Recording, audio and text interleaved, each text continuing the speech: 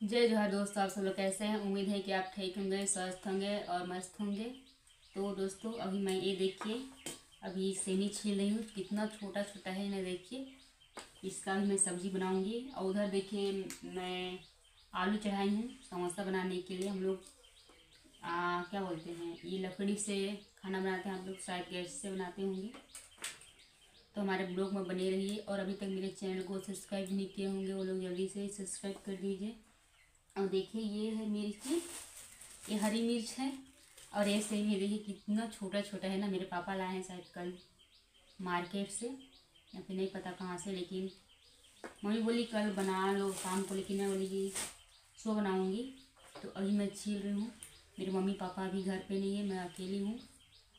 तो यही छील रही हूँ इसको बनाने के लिए। इस, इसके साथ आलू आलू मिलाऊँगी।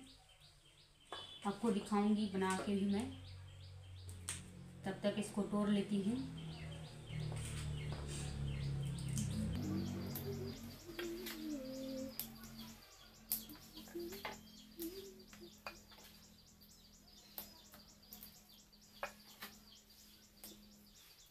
और अभी तक मेरे चैनल को जो लोग सब्सक्राइब नहीं किए होंगे तो प्लीज़ जल्दी से सब्सक्राइब कर दीजिए और हमारे ब्लॉग में बने रहिए। इसको बना के दिखाऊँगी आपको मैं कैसे बनाते हैं।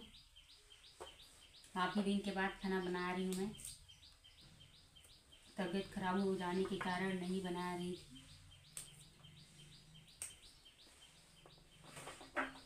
मेरे को ये वाला सब्ज़ी बहुत अच्छा लगता है। आप लोग बताइएगा कैसा लगता है कमेंट में।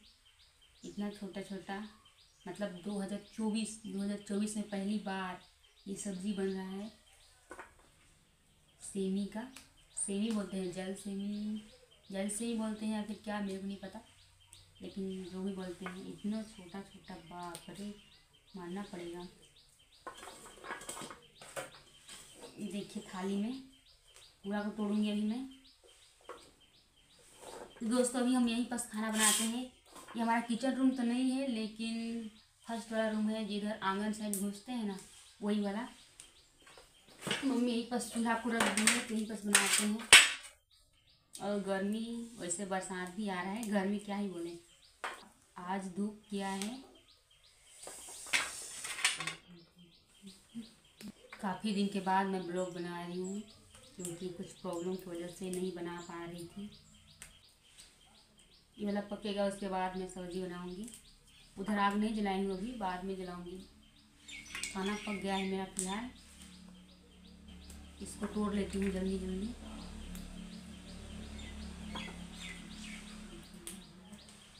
दोस्तों देखिए, मैं सब्ज़ी डाल रही हूँ। इसको तोड़ के साथ में आलू मिलाई हूँ। इसको पकाती हूँ अच्छे से।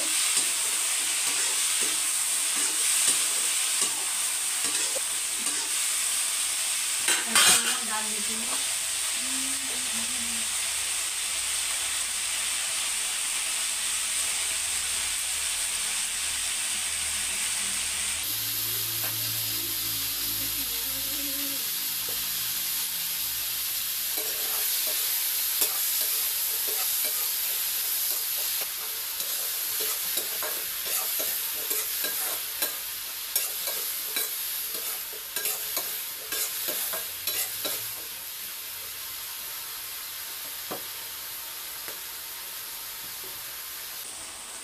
मैं इसमें अभी हल्दी मसाला डाल रही हूँ।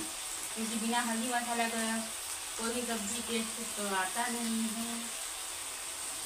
हल्का सा।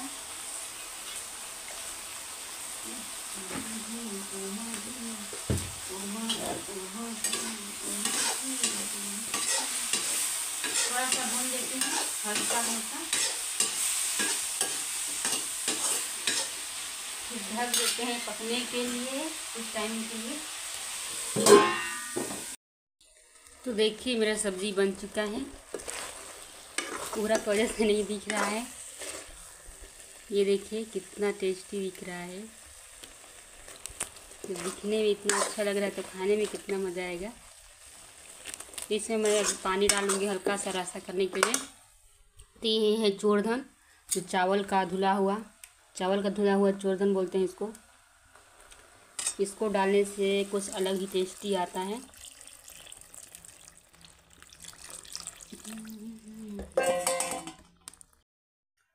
तो दोस्तों, काफ़ी लंबा वीडियो बन चुका है। देखिए, हमारा सब्ज़ी इधर पक ही रहा है। अब उतारने वाले हैं। तो आज का ब्लॉग हम यही ख़त्म करते हैं।